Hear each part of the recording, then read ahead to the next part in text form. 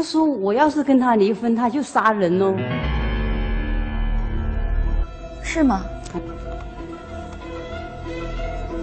范先生，我是这这这这求一个道理，其他没什么。今天来是来讲道理的。他要过生日，因为四十岁我们那边是不过生日的。那后来我就出去了，出去了又刚好有一个朋友请我吃晚饭，啊我就没回来，也忘记了。那回来他就找我吵，那我不跟他吵，是不是？吵有什么好吵啊？后来呢？后来就也也没怎么样，他跟我吵，我不我都不跟他吵。嗯，到了第三天，那个我装房子装修，去取钱，银行的人跟我讲，他说那没钱了。我说奇怪，我二十多万在里面怎么没钱了？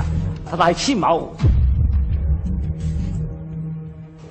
七毛五，我说奇怪，我说这后来他说被人家转走了，我那我就回来问他，我说你个你把钱转到了？是啊，是我的钱，你你怎么样？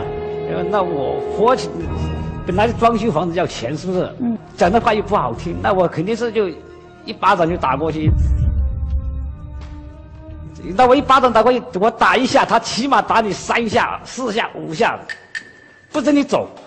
我想问一下你，为什么就是他可能这样态度不好的话，就会使得你立刻想到去把他的钱给转走？因为这个钱不是他一个人的，因为这个是我们两个人共同创业可是来的为什么首先想到的是去转钱呢？因为我卡里面没钱啊，我叫他给我转一点钱，我那个时候是在尊重他。如果说你你转走，比如说一小部分，我们还能理解，但他所说的是二十多万，你只给他留下了七毛五，我的意思就是在你手上那么多钱可以，为什么不能在我手上呢？潘先生，你是这样想的吗？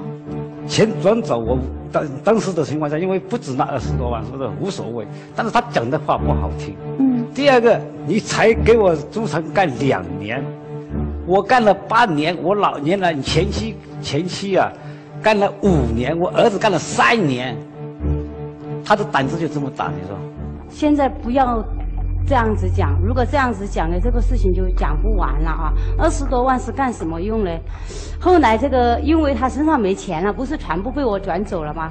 这一笔财就是家里刚好在搞装修，是不是？好，这些材料钱全部是这个钱，这个钱里面的，哎，这个里面有一笔钱是被我儿子做生意亏掉了，我儿子刚好亏掉十万，我有算，嗯，就没有再亏了。我也不给他钱了，我生气了，我生我儿子的气，不生他的气啊。钱嗯十十对对对十八万多，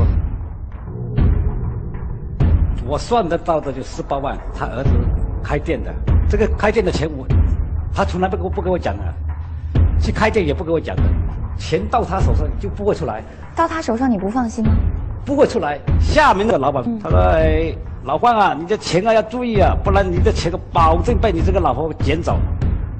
零九年这一次以后，你觉得你跟这个 就是这样子。老范活得幸福吗？过得开心吗？不是我不是很好，好像更不放心我的提出离